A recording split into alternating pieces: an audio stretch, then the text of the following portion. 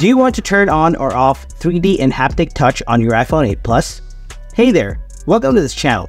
In this video, I'm going to show you how to turn on or off 3D and haptic touch on your iPhone. So without wasting any more time, let's get started.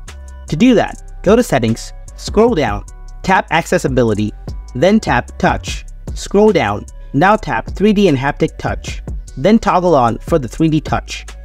So this is how you can turn on or off 3D and haptic touch on your iPhone 8 Plus. If you found this video helpful, then drop a like and don't forget to subscribe to our channel. And if you have any kind of questions, then please ask them in the comment section below. Thanks for watching.